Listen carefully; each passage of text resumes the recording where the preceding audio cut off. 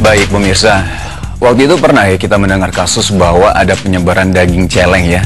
Jadi sebenarnya orang-orang nggak tahu gitu ya bahwa memang daging yang dijual ini lebih khususnya ke daging sosis ya. Daging sosis yang dijual itu yang orang-orang mengira bahwa ini adalah daging sosis sapi, ternyata adalah daging sosis babi gitu.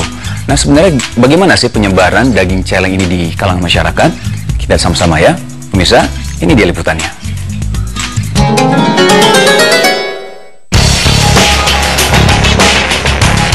Penyebaran daging celeng di masyarakat.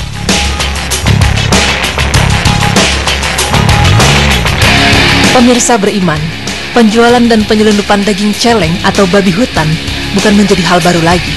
Terlebih lagi dengan naiknya harga BBM di bulan November lalu, daging sapi yang dioplos dengan babi jenis celeng itu kini banyak dijual bebas di pasaran. Data dari Kementerian Pertanian atau Kementan menyebutkan, masuknya daging celeng ke kawasan Jabodetabek berasal dari Pelabuhan Merak, Cilegon, Banten. Kementan daerah Cilegon bersama polisi berhasil mengamankan penyelundupan daging celeng ilegal. Penangkapan terjadi di wilayah Pelabuhan Merak. Dari hasil penggebrekan, petugas menemukan 13 karung daging celeng dengan berat 2 ton. Daging-daging tersebut selain sudah berbau busuk, juga tidak dilengkapi dokumen sanitasi hewan dan tidak ada jaminan kesehatan dan bisa berdampak pada kesehatan masyarakat. Selain itu, petugas kepolisian Resort Jakarta Utara juga menangkap pengusaha daging yang sering mengoplos daging sapi dengan daging celeng di rumahnya, daerah Jakarta Utara. Tersangka telah melakoni usaha tersebut selama satu tahun. Daging celeng oplosan ini dijual bebas kepada penjual bakmi, bakso maupun catering di kawasan Jakarta. Seperti yang dituturkan petugas kepolisian Resort Jakarta Utara berikut ini. Pendidikan juga ternyata daging-daging babi liar tersebut dijual secara bebas kepada siapa pun yang ingin membeli daging tersebut. Nah, salah satunya hasil penelusuran kami ada beberapa eh, pengusaha makanan yang telah membeli eh, daging-daging liar tersebut atau celeng tersebut dari eh, tersangka. Daging celeng tersebut didapatkan pelaku dari Lampung dengan harga Rp15.000 per kilo. Dengan harga daging sapi yang melonjak hingga Rp100.000 per kilo, dan dengan mengoplos daging celeng tersebut, tiap bulan tersangka bisa mendapatkan untung hingga 4 juta rupiah. Badan Karantina Pertanian dan Kementerian Pertanian mencatat jumlah penyelundupan daging celeng atau babi hutan meningkat tajam di tahun 2014. Secara volume terjadi kenaikan hingga 200 persen. Sedangkan dari sisi frekuensi, penggagalan penyelundupan naik 55 persen dibandingkan tahun lalu. Selain penjualan daging celeng oplosan di sekitar kita, juga banyak terjadi transaksi antar sindikat penjual daging celeng. Namun transaksi mereka sangatlah ketat, karena hanya orang-orang tertentu yang dapat membeli daging celeng secara langsung dan dengan jumlah banyak. Tim Berita Islami Masa Kini berhasil mewawancari seorang pedagang daging yang sangat merahasiakan tentang penjualan daging celeng ini. Padahal beberapa waktu yang lalu telah ditemukan pula penyelundupan daging celeng di pasar ini. nggak sembarangan langsung masuk juga pak dari sini Maksudnya dari orang lain memasukin ke sini itu perantara mas itu yang jual. nggak bisa Nggak bisa ya? Heeh. agak bisa itu kudu melalui dulu sama yang ini ya. Jadi nggak bisa menerima daging dari orang lain selain dari distributornya langsung ya? Iya. Dari tukang pemotongannya itu ya? jadi nggak sembarangan orang daging apalagi dari daging celeng bisa dioplos nggak bisa nggak bisa Dijamin ya Pak? Dijamin. ini dijamin masa tamu enggak Kalau pasar Tambun persatuannya kuat fondasi.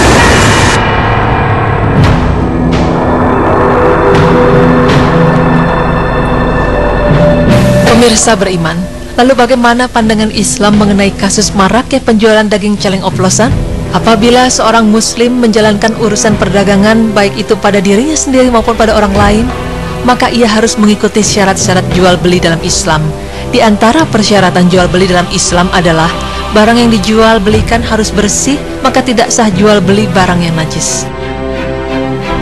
Barang yang diperjualbelikan adalah barang yang halal untuk dimakan, sedangkan barang yang haram dimakan atau diminum haram pula diperjualbelikan.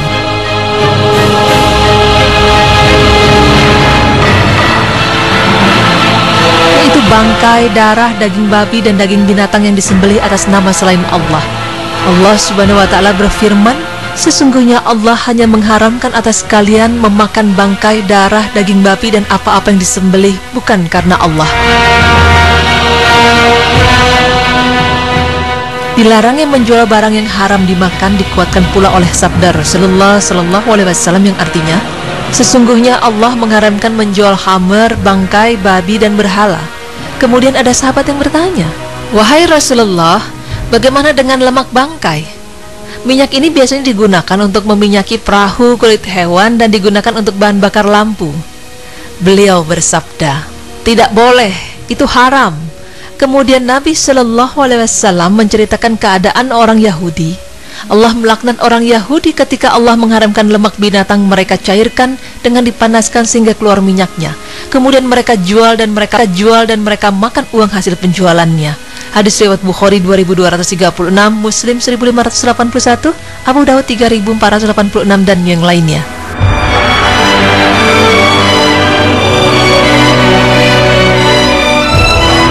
Pemirsa beriman, maraknya peredaran daging celeng oplosan hendaknya menjadikan kita untuk waspada dalam membeli bahan baku makanan, terutama daging. Dan bagi para pedagang juga harus menyadari bahwa barang yang mereka jual harus dipastikan kehalalannya. Karena seperti yang telah dijelaskan, bahwa Allah Subhanahu wa taala akan melaknat seorang yang menjual barang-barang haram dan memakan hasil penjualan tersebut. Maka dari itu, sebagai pedagang muslim, hendaknya kita bersikap adil kepada pelanggan kita dan barang-barang yang kita jual dapat bermanfaat. Amin ya rabbal alamin.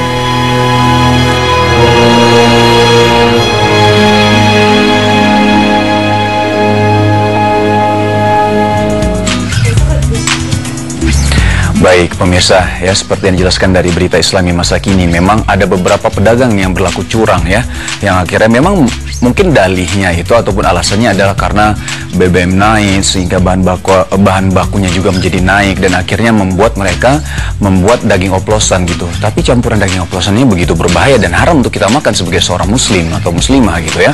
Daging campuran antara daging babi sama daging sapi gitu. Dan orang-orang menganggap itu adalah daging sapi. Kalau di dalam Islam sebenarnya sudah sangat jelas sekali bahwa daging babi itu diharamkan ya. Nah, kalau misal pedagangnya gimana? Udah menjual daging babi terus menipu masyarakat lagi. Aduh, yang sampai ini harus bertobat nih ya, harus tobat nasuha ya. Dan satu hal lagi memang kalau kita sebagai pembeli ya, mulai sekarang kita harus mulai lebih berhati-hati untuk membeli daging.